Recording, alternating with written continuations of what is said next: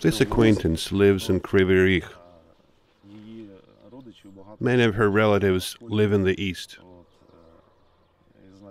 And one aunt calls to this acquaintance and says that on, say, apartments in Kryvyi Rih became cheaper. Well, she says, I'd like to buy an apartment. We gathered money from Prisyatki and want to buy a flat. Ну, ця жінка And this acquaintance, let's call her Masha, Тут було didn't understand, firstly, Маша. what is Prisyatki. Маша не, не зрозуміла спочатку, що таке присядки. От.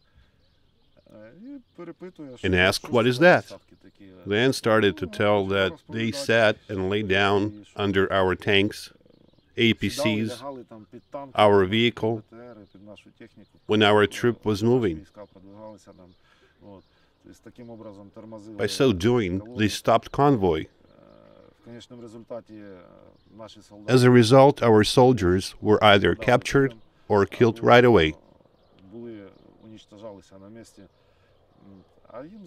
And they were getting money for this, near $100 per person per one priziatka.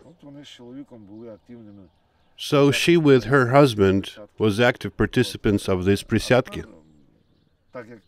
And now, because there is almost no place to live, even after the victory, many things must be rebuilt and reconstructed there. While Kryvyi Rih is a pretty civilized and big town, they decided to buy apartment there. However, her actions and wishes show cynism, and lack of principles in these people.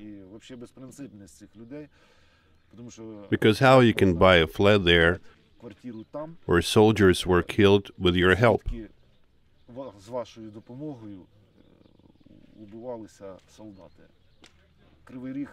Kryvyi Rih buried many guys.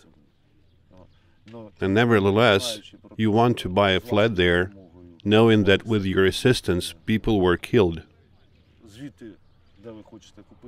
This I don't know. This is the same as if to kill the owner at the table, then push him with a leg, sit and continue to eat his borscht, the one he was just eating.